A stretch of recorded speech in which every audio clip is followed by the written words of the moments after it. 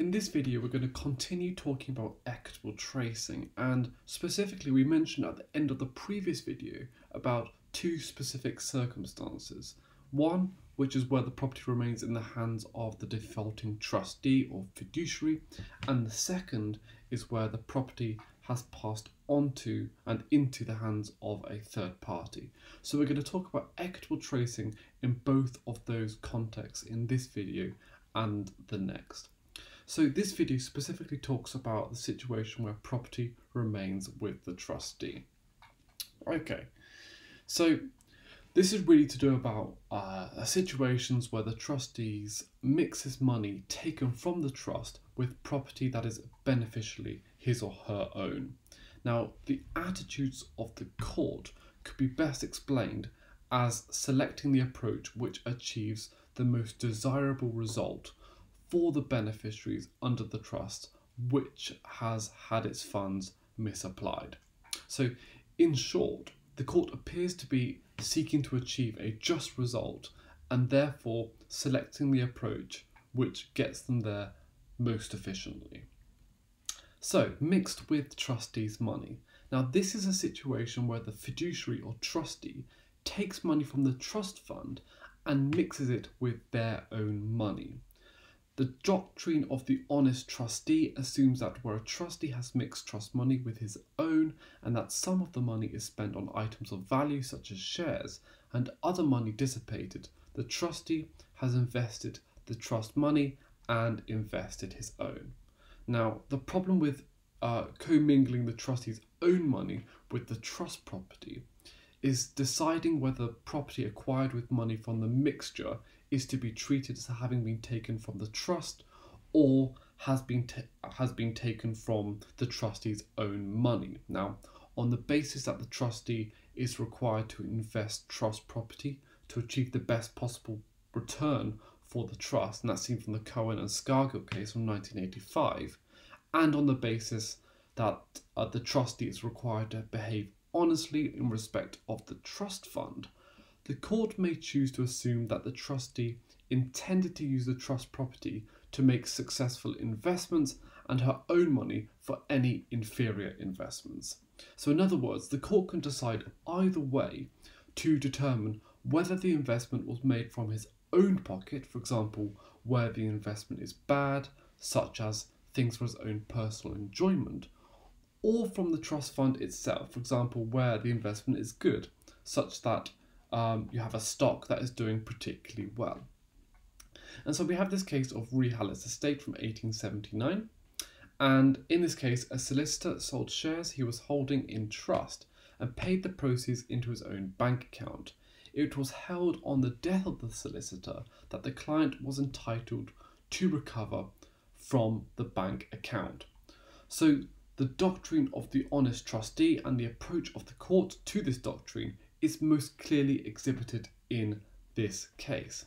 So Hallett was a solicitor who was a bailee of Russian bonds for one of his clients, Cotterill, and Hallett sold the bonds and paid all of the proceeds into his own bank account. Now, Hallett then died as um, subsequently, and therefore it was left to Cotterill to claim proprietary rights over the money in Hallett's bank account.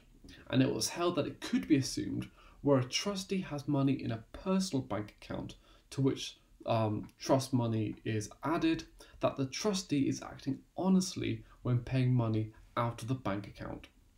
So, therefore, it is assumed that the trustee is paying out of her own money on investments which lose money and not the trust money. Therefore, it is said that the trustee has rightfully dissipated her own monies such that the trust money remains intact the beneficiaries were entitled to claim either equitable title in the assets require, um, acquired by the trustees or a lien over that asset, and that's just a, a right to take possession of property until one is paid what one is owed. In the modern language of the law of trusts, we might argue that this recognises the basis of the trust in the conscience of the trustee. Therefore, not only is the court assuming that the trustee was acting honestly, but it is also applying the tenets of equity so as to require him to act honestly. That is, by holding that any benefit to derive from the benefit held would be passed to the beneficiaries. Now, by the same token, it might be said that an investment in successful investments would be deemed to be an investment made out of the trust property, which is what we're going to see in the case of Oatway in a minute.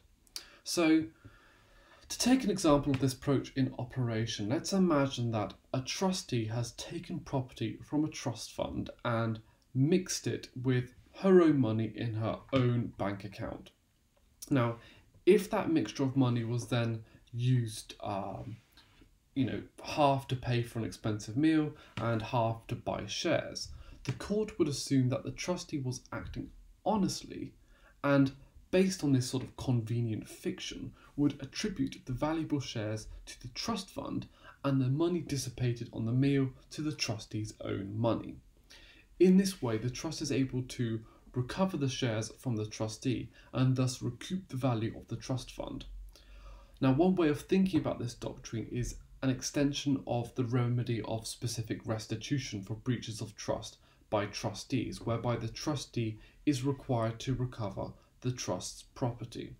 Hallett is effectively going one step further by allowing the trust, although technically not the trust as it has no legal personality, but used for shorthand purposes, to establish an equitable interest in the property acquired with the original trust property. Okay, and so uh, we also have um, this situation of lowest intermediary balance and or in lowest intermediate balance, sorry. And this is where a mixed bank account contains trust funds and other money, whether the other money belongs to an innocent third party or the person in breach, then money which has been dissipated and is hence untraceable cannot be replaced by money put into the account later. Now, because this is a proprietary right, it attaches to the property, and that means if there is no property, the right disappears. Okay, so if you have a mixed bank account, the maximum amount that can be taken from the bank account is the lowest intermediate balance. Okay, you cannot replace trust money with other money paid in later. Let's say you know a trustee puts one thousand pounds of trust money into his own bank account and dissipates it, then places another one thousand pound of his own money into the same account the claimant cannot trace into the money deposited later. Okay, the maximum amount that can be reclaimed from the bank balance is the lowest intermediate balance. The claimant will, however, still have a personal claim against the trustee. So, tracing wouldn't be possible because the money has been dissipated and cannot be recovered, but you would still have a personal claim against the trustee. And we have this case of James Roscoe from 1915, and in this case, a man who had bought a grocery business called uh, the unpaid called in the unpaid accounts due at the time of sale, holding them on trust for the seller. He paid the money into his own account, spending most of it so that the account stood at one point at £25. Money was later paid in, resulting in a balance of £358 at his death. It was held that the seller could not claim more than £25 from the deceased bank account. So the trust fund had been mixed with private monies in a bank account, and the credit balance reduced at one point to £25 before being replenished. The seller could not claim more than £25 because the money was used to replenish that was used to replenish the account could not be said to have been trust property. Okay, so that is the sort of situation of the lowest intermediate balance. And we've also got this rule in Clayton's case, uh, which is this case of uh, Noble from 1816. And in Clayton's case, a first in, first out rule was adopted. That is, that payments into an account and out of an account were set off against each other in the order in which they occurred. So if the mixed funds in the bank account represent the funds of two trusts or of a trust of an innocent volunteer, the rule in Clayton's case will apply. Now, the rule in Clayton's case lays down that in the case of a current bank account, the first payment in is appropriated to the earliest debt, which is not statute barred. In other words, first in, first out. So, put another way, when deciding which property has been used to acquire which items of property, it is deemed that the money first deposited is used first. So, if a trustee, let's say, takes £1,000 from one beneficiary and puts it into his own account on the 1st of June, and takes another £1,000 from a second beneficiary on the 3rd of June, then on the 5th of June dissipates you know £1,000 for personal use, the first beneficiary will have no equitable right to trace, but the second beneficiary will have an equitable um, right to trace the full remaining £1,000. Nevertheless, the first beneficiary will still have a personal claim against the trustee. And let's just say, um, in another way, in other words, if a trustee places £10,000 belonging to Trust A into a current account that already holds £10,000 belonging to Trust B, it is important to, to determine which trust is entitled to the £10,000 balance of the account if the trustee withdraws the other £10,000 and spends it on, you know, a luxury, uh, a luxury cruise, for example. Now, applying the rule in Clayton's case to this dispute, it will be Trust A, Trustee A, uh, or Trust A, sorry, who is entitled to the entire balance in the account. Now, this rule doesn't really seem fair, but it was designed mainly for convenience sake. And, you know, it has even been uh, uh, described as a convenient rule, a very convenient rule. It's, it's something which just works in practice. And you know, although it has been criticised quite a lot, it is settled law. So Clayton's case and the rule in Clayton's case does apply. Okay, and in this particular case, then, uh, a case was brought against the estate of a banker who had previously been in a partnership. While he was a member of the partnership, the bankers had, in breach of fiduciary duty, sold treasury bills worth £1,035 deposited by Clayton and kept the proceeds for their own use. However, Clayton continued to deal with the bank and drew out sums greater than the amount converted by the bankers. It was held that Clayton could have no claim against the estate in respect of the £1,035 as that debt was set against the later drawings. Okay. As applied in tracing, the rule in Clayton's case meant that if a trustee in breach of trust paid £1,000 from one trust account into his own account and later £2,000 from a second account into his own account, then dissipated £1,500 from the account. £1,000 of the payment of £1,500 would be attributed to the first payment and £500 to the second breach of trust.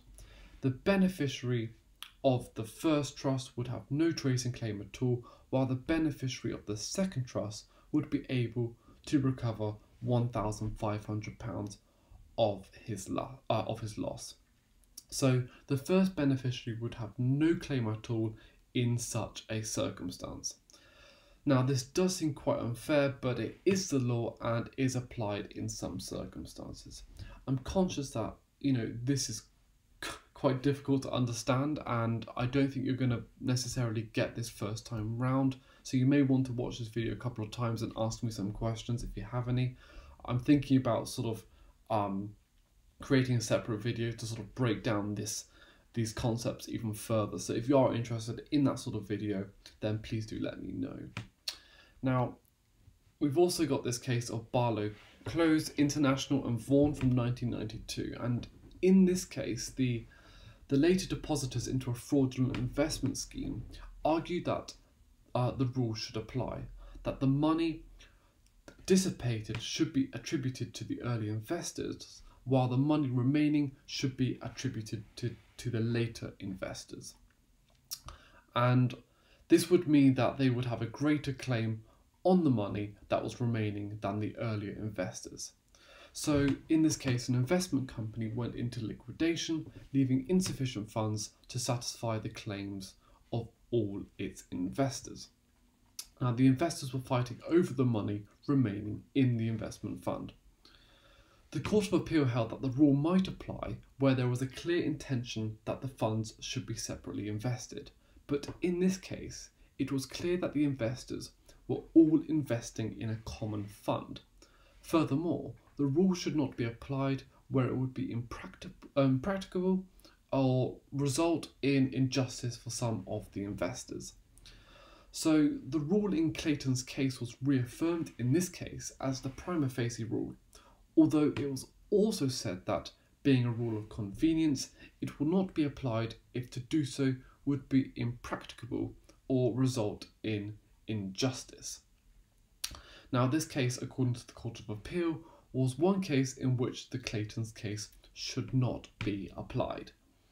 If the investors made a clear intention that the funds were to be invested separately, the rule in Clayton's case would likely have applied, but here it was clear the investors were investing in a common fund, thus meaning that it would not be practical or just to apply the rule in Clayton's case here.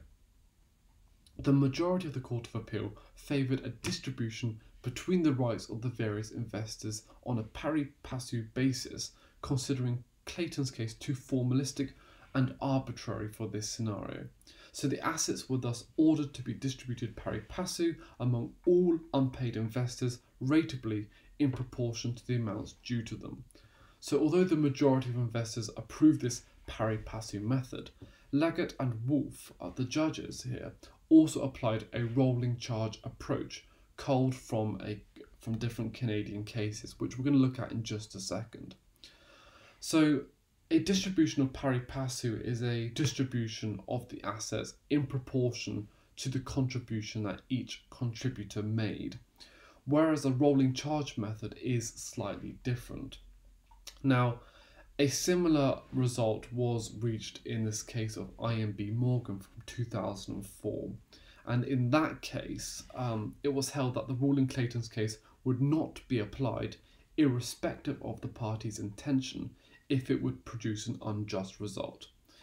In fact, the so-called rule in Clayton's case is now nowadays so often disapplied in the interests of justice that one judge has renamed it the exception in Clayton's case. That is um, from Russell Cooke Trust and Prentis from 2003.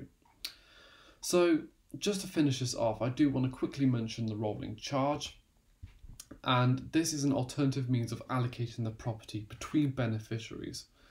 Um, and in this method, each payment out of the account is allocated pari passu to the beneficial owners of the property at the time of the payment. So it is suggested that the rolling charge approach is the more sensible approximation to the contribution in which each good faith um, each good faith investor has made to the fund. Um, so rather than looking to which investor contributed their money first and which contributed their money last, which is you know always a result of chance, it seems more equitable to resort to the resulting trust principle that each should take according to their proportionate size of their contributions. The rolling charge means that investors would have to take into account um, in Barlow Clowes case, not only the size of their contribution to the fund, but also the length of time for which that money was part of the fund. Clearly, the longer an investment is made, the more money it could be expected to make. The only problem with the rolling charge method is that it is extremely complex. It requires basically reconstruction of every single transaction carried out by the account. You have to look at every payment in and out of the fund and from a forensic accounting point of view, this is quite challenging. This method goes on the basis that where funds or several depositors or sources have been blended in one account, each debit to the account, unless unequivocally attributable to the monies of one depositor or source, for example, as if an investment was purchased for one, should be attributed to all the depositors so as to reduce all their deposits pro rata, instead of being attributed, as under Clayton's case, to the earliest deposits in point of time. So the court accepted the rolling charge as, in principle, a better way of doing things. So Dillon here, in this case, is saying that every time there is a payment out, you have to determine who owned the fund at that time. For example, 20% is attributed um, to, to you, so reduces your debt proportionately. So although in theory it makes sense, they wouldn't apply it in this case because it was impractical. This requires a complicated analysis of the payments out of the account in question, and although it has been acknowledged as the theoretical most equitable way of determining each claimant's beneficial interest in the remaining property, it has never been applied by an English court.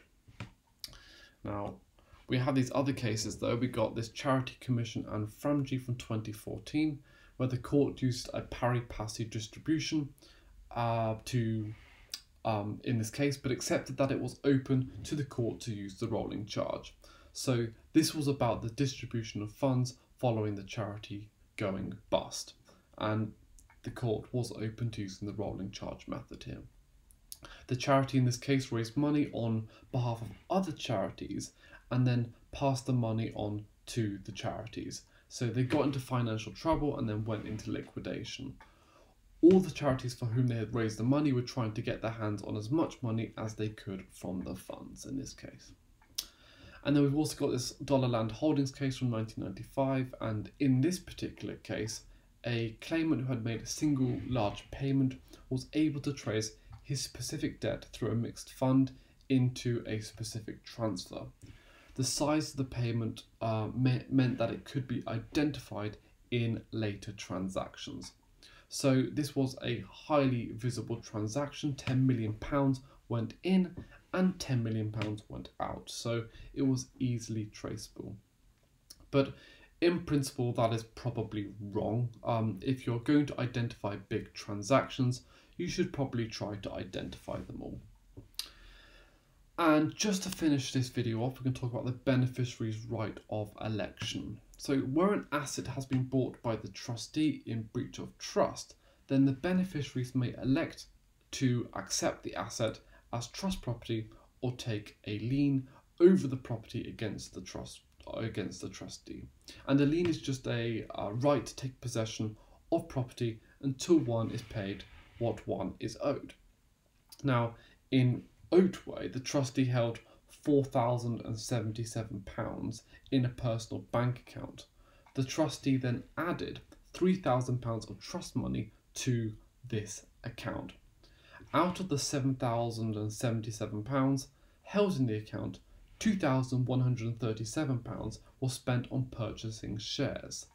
The remainder of the money in the bank account was then dissipated the beneficiary sought to trace from the £3,000 taken out of the bank into the shares and then to impose a charge over those shares. The shares themselves had risen in value um, to £2,474. The beneficiaries also sought a further accounting in cash to make up the balance um, £3,000 taken from the trust fund. Now, it was held that where a trustee had wrongfully mixed her own money and trust money, the trustee is not entitled to say that the investment was made with her own money and the trust money had been dissipated. Importantly, though, the beneficiaries are entitled to elect either that the property be subject to a charge as security for amounts owed to them by the trustees, that is a lien, or that the unauthorised investments be adopted as part of the trust fund. In other words, they can accept or elect the unauthorized investment as theirs and part of the trust fund, or they can simply hold the unauthorized investment as security for amounts owed to them by the trustee. It is therefore clear that the courts are prepared to protect the beneficiaries at all costs from the misfeasance of the trustee, re emphasising the strictness of the trustee's obligations to the beneficiaries. So, on the facts of Oatway, the beneficiaries were able to elect to have the valuable shares subsumed into the trust as opposed to simply to taking rights over the money, which was to their advantage because it was considered likely that those shares would increase in value in the future. And also to be able to require the trustees to account in cash for the remaining shortfall in the balance taken from the trust fund. In effect, based on the principles of breach of trust spelled out in target holdings, requiring a trustee to reconstitute the value of the trust fund. Okay, so that's going to be the end of this video. I am well aware that this is a difficult topic and I'm not entirely sure how well I've described this and explained this. So I'm, more than happy to answer any questions you have about this and, and the different, you know, particular areas surrounding um, mixed funds when it comes to equitable tracing. I'm also conscious that uh, the distinction between Clayton's case, pari passu, and rolling charges isn't so clear in this video. So if you want me to create a document or a separate video on the distinction between um, these three things, then I'd be more than happy to do that as well. So just let me know in the comment section below and I will reply as soon as I can. But if you enjoyed the video, then make sure you give it a thumbs up and subscribe to my channel. Thank you very much for watching.